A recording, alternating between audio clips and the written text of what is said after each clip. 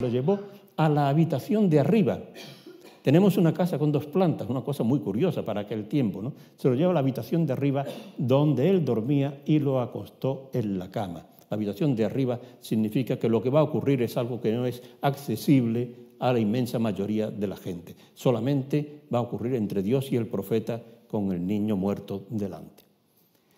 Después clamó al Señor, Señor Dios mío, también a esta viuda que me hospeda en su casa, ¿la vas a castigar haciéndole morir al hijo? Luego se echó tres veces sobre el niño clamando al Señor, Señor Dios mío, que resucite este niño. El Señor escuchó la súplica de Elías, volvió la vida al niño y resucitó.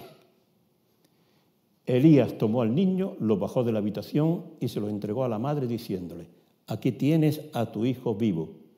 La mujer dijo a Elías, ahora reconozco que eres un profeta y que la palabra del Señor que tú pronuncias se cumple.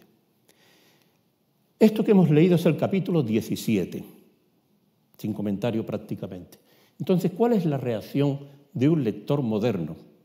Ustedes son lectores modernos, pero ustedes están probablemente condicionados por una actitud positiva de aceptación de la Biblia, etc. Pero cuando uno toma una postura moderna de persona, hombre mujer del siglo XXI, dice, bueno, esto si, si lo leo en las mil y una noches me parece perfecto. O si lo leo en una novela de García Márquez o de Juan Rulfo, etc. ¿no? Perfecto, porque es el realismo mágico, lo que se quiera. ¿no? Pero cuando uno lo lee con mentalidad crítica, pues se crea desconcertado y no termina por creérselo. ¿no?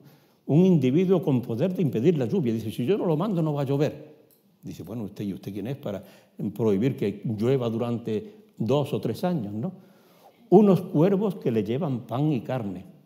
Además, fíjense que la carne entonces no la comía casi nadie, ¿eh? sobre todo los pobres no la veían nunca, y aquí le llevan pan y carne, no al mismo tiempo, por la mañana y por la tarde. No sé por qué los cuervos siguen ese procedimiento, pero en fin. Eh, la harina y el aceite que se multiplican, un niño que resucita. Entonces uno dice, bueno, ¿qué pretende decirnos el autor de estos relatos?